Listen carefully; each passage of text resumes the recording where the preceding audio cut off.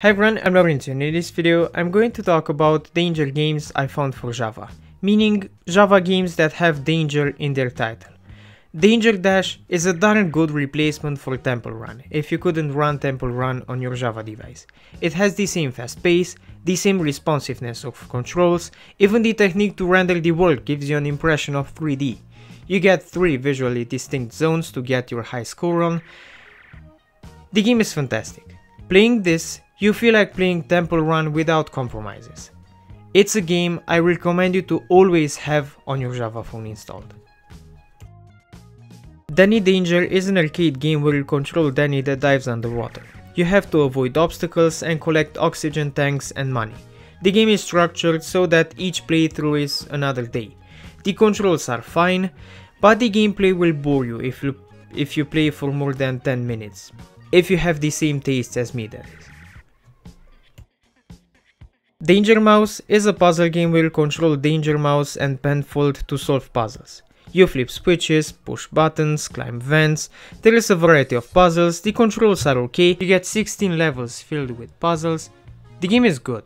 And for fans of the cartoon, it's a really good tie-in game. Danny Danger Racer is self-explanatory from looking at the video.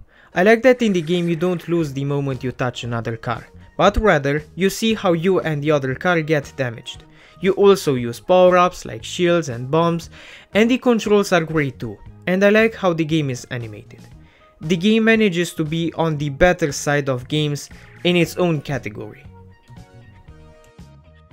Dangerous Dave in the Haunted Mansion isn't a game made for Java, it's actually a port of the MS-DOS game released in 1991, and from what I've played, it seems that it's pretty much the same game. Okay, actually what you get on Java is the demo of the game.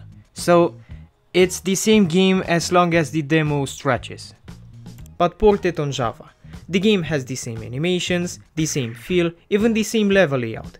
Though I haven't thoroughly checked it. But anyway, it's a great game. The plot is that you play as Dave that comes into a spooky haunted mansion filled with zombies and other vile creatures to save his brother, Delbert. The game is amazing both considering how well the port ended up and what a gaming experience you can pull off with this game. Danger Mouse Penfold's Peril is a nightmare, because the controls are trash. If you press a direction key, Danger Mouse will start running and if you release the button, he'll keep running, unless you press the opposite directional key.